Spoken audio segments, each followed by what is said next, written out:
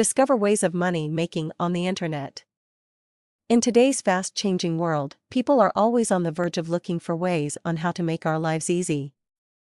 But due to the growing economic crisis that the whole world is facing, more and more people are making use of the technology in earning extra income for the survival of our family and ourselves. One of the many ways on how to earn extra income is through money making on the internet. Now, the real question is how do you start your own online business? Sounds easy, right? But starting your own online business needs a lot of consideration knowing that more and more people are engaging into this business and that competition is very high.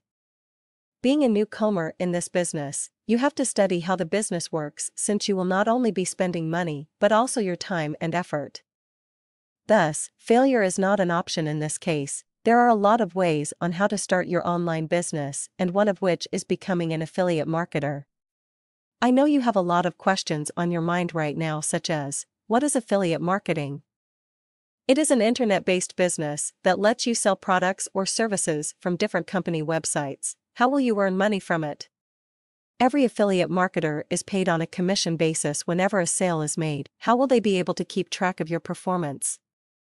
Once you are being approved as their affiliate marketer, the website or product owner will provide you with the tracking links for you to use it. This tracking links does not only help them keep track of your performance, but you will also use it in linking your website to the site you are promoting. Now that you have found the product to sell, what will you do next? Using a free tool, such as Google AdWord or a paid tool such as Market Samurai, you will then search for the perfect keyword to use. This will be used for your website promotion, such as articles and blog post. Finding the right keyword will not only give you the edge, but it would be convenient for your clients as well. I know you still have no clue on what a keyword is, right? To give you a better understanding, I will give you an example of keywords. Dog training or how to train your dog are just few of the examples of a keyword. Oftentimes, keywords are used to narrow down your searches over the internet, knowing that the internet has tons of stored information and that every day, new information is being added. Found the right keyword?